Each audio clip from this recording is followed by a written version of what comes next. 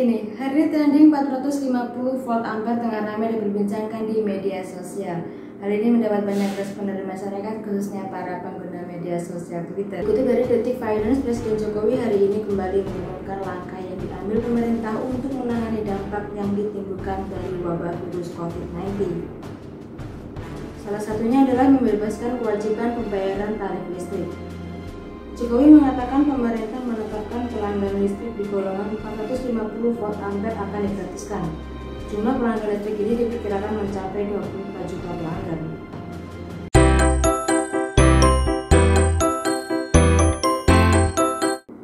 Untuk informasi lebih lanjut mengenai trending 450 volt ampere, kalian bisa melihatnya di media berita lainnya.